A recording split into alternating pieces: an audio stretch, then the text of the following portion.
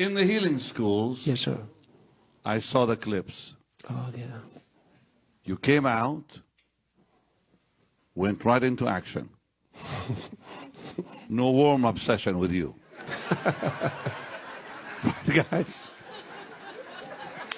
I mean, you came out, bang, bang, bang, bang. It was like a machine gun going up.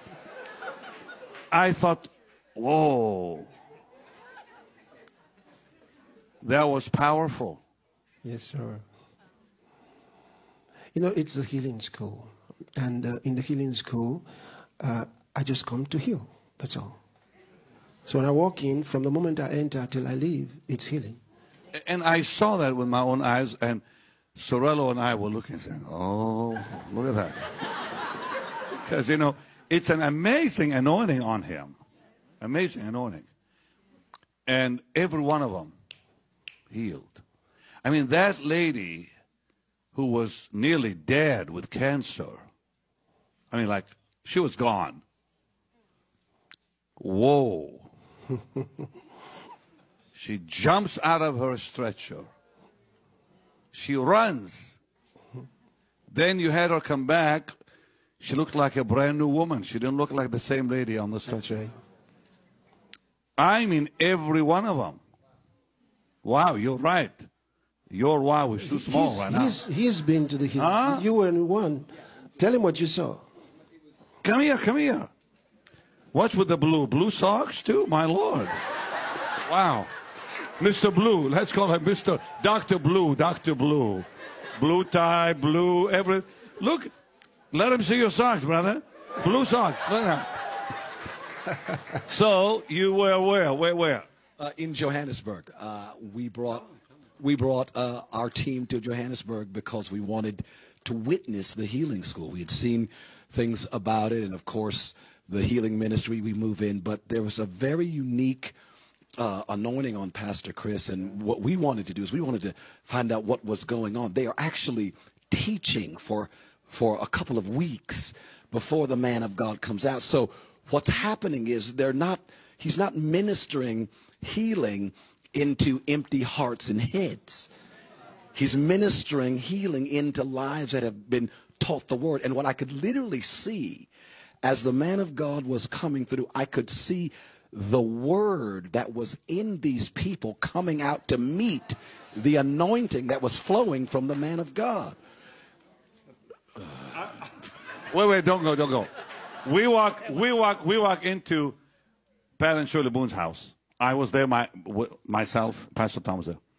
Now here's poor Shirley. She's like gone, guys. She's can't get up out of a wheelchair, nothing.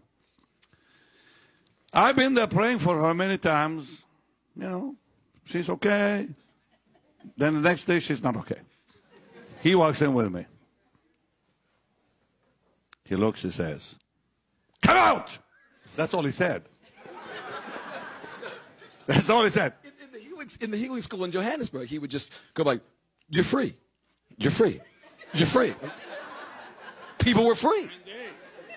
When he said, Come out, she was out of that wheelchair. You were there. She pulled her, whatever was on her, all those things came off, and she was free. And I said, Whoa. like, he didn't, he did not even sing Hallelujah, nothing. He just, he didn't, he, he, yeah, yeah, he, just, he just, just said, Come out. when he said come out, my heart went whoop. But she came out of that wheelchair, and I'm thinking, no, no, hallelujah, no, how great thou art, no, nothing. That's, come out. Wow. And you did the same thing in the healing school, and we saw that on that video. Just you walk, you're free, you're free, you're free. Guys, I'm telling you, it's Gloria. I believe every preacher of the gospel should come and witness it. Whether you move in the healing ministry or not, if you do, you'll be strengthened in it. If you don't, you'll have a hunger for it. What came off on our team, because we move in it, but I mean, we went to a whole nother level. He walks into Pastor Chris. Pastor Chris walks into my my house. I will never forget that as long as I live. Pastor Tom, you're there. and two or three others, I can remember.